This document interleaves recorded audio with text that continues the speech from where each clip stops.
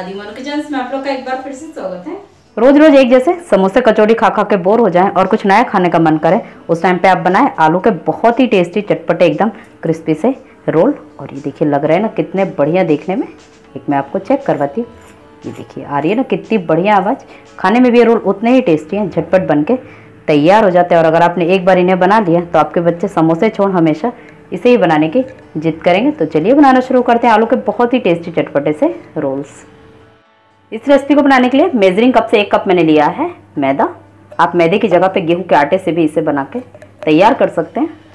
Half tablespoon नमक add करेंगे। अभी हम स्टफिंग में भी नमक डालने वाले हैं। वन टेबल स्पून ऑयल बहुत ही क्रिस्पी इससे नाश्ता बन के तैयार होगा। आप ऑयल की जगह पे घी का यूज़ भी कर सकते हैं।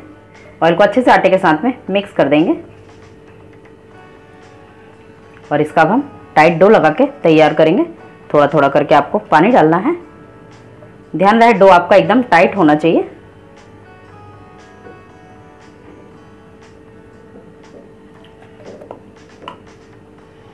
आटा हमने लगा के तैयार कर लिया है तो इसे अब हम 15 मिनट के लिए कवर करके रेस्ट पर रखेंगे।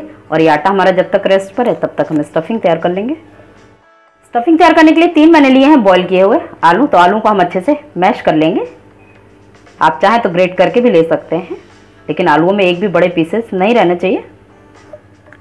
आलू को हमने अच्छे से मैश कर लिया है। तो एक मैंने लिया है हरी मिर्च, एकदम फाइन चॉप करके लिया है। एक चौथाई चम्मच हल्दी पाउडर डालेंगे। आधा चम्मच चिली फ्लेक्स। आप इसकी जगह पर लाल मिर्च पाउडर भी डाल सकते हैं। आधा चम्मच जीरा। एक छोटी चम्मच मैं इसमें ऐड कर रही हूँ। चाट मसाला बहुत ही चटपटा इससे स्टफिंग बनके तैयार होगी। दो टेबल स्पून हरा धनिया डालेंगे। आप चाहें तो प्याज को भी एकदम फाइन चॉप करके डाल सकते हैं। एक चौथाई चम्मच नमक डालेंगे। नमक हमने डो तैयार किया है, उसमें भी डाला है और चाट मसाला डाला है। तो आप अपने टेस्ट के अकॉर्डिंग नमक डालें। सभी चीज़ों को अच्छे से मिक्स कर लेंगे स्टफिंग के साथ में। स्टफिंग हमारी एकदम तैयार है। पंद्रह मिनट हो चुके हैं। और ये आटा भी हमारा अच्छे से सेट हो गया है तो एक बार वापस से मसल लेंगे। आटे को हमने वापस से मसल लिया है। तब इसकी हम इक्वल साइज़ की छोटी छोटी बॉल्स बना लेंगे। ये देखिए, इस साइज़ के आपको बॉल्स बनानी है। सभी बॉल्स हमने बना के तैयार कर लिया तो इसमें से हम एक बॉल लेंगे और बाकी आटे को कवर करके साइड में रख देंगे। चक्रे के ऊपर थोड़ा सा सूखा मैदा डस्ट करेंगे। लोई को रखेंगे और इसे अब हम बेलेंगे। और जिस तरीके से हम समोसे के लिए बेलते हैं, वैसे ही आपको इसे बेल के तैयार करना है, गोल नहीं बेलना है। इस तरीके से बढ़ाना है।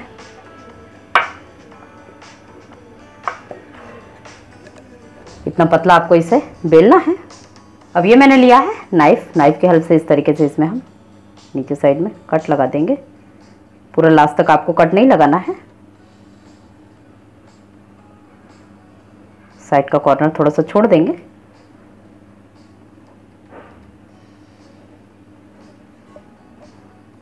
इसके ऊपर एक चम्मच स्टफिंग रखेंगे।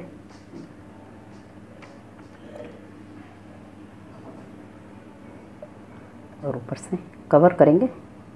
साइड साइड से भी इसे कवर करते जाएँगे। एकदम अच्छे से आपको इसे चिपकाना है। रोल करते जाना है। साइड के आटे को पहले दबा दें।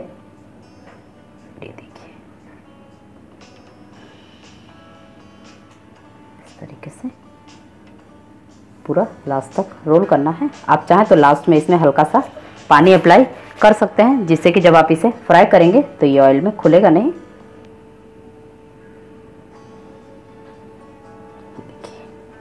लग रहा है ना कितना बढ़िया देखने में। साइड का कॉर्नर आपको इसे वापस से अच्छे से कवर कर देना है। और ये देखिए, लग रहा है ना कितना बढ़िया देखने में। निकाल के एक प्लेट में रख लेंगे। एक और रोल मैं आपको ऐसे ही बना के दिखाती हूँ। सूखे आटे में डस्ट करेंगे और इसे आपको पहले समोसे की तरह बेल लेना है।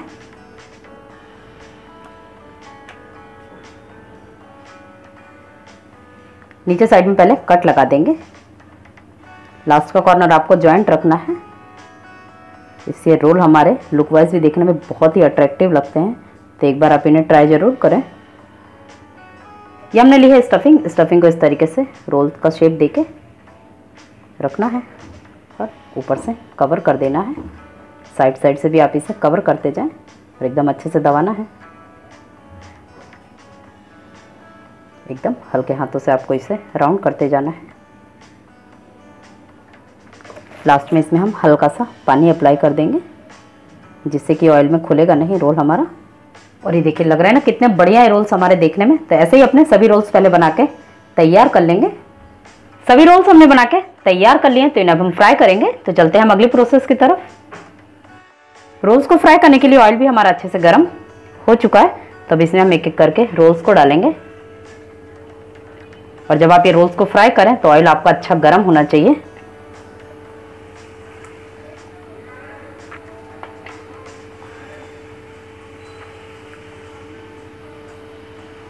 गैस का फ्लेम मीडियम ही रखना है, आपको रोल्स को फ्राई करते समय, जिससे कि रोल्स आपके अंदर तक अच्छे से क्रिस्पी हो जाए। एक बार पलटा देंगे सभी रोल्स को।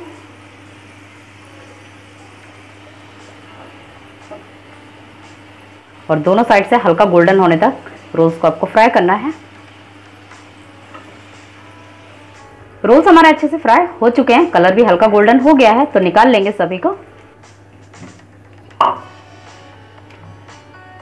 और ऐसे ही अपने बाकी बचे हुए सभी रोल्स को भी फ्राई कर लेंगे।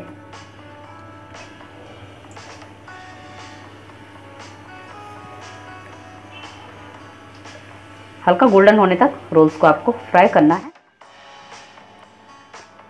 आलू के बहुत ही टेस्टी चटपटे क्रिस्पी रोल्स हमारे तैयार हैं। तो एक बार आप इस रेसिपी को ट्राई ज़रूर करें और रेसिपी अच्छी लगे तो ज़्यादा से ज़्यादा फैमिली और फ्रेंड्स के साथ में शेयर करें। चैनल को सब्सक्राइब करना बिल्कुल भी ना भूलें। तो हम फिर मिलेंगे एक नई रेसिपी के साथ। Thank you friends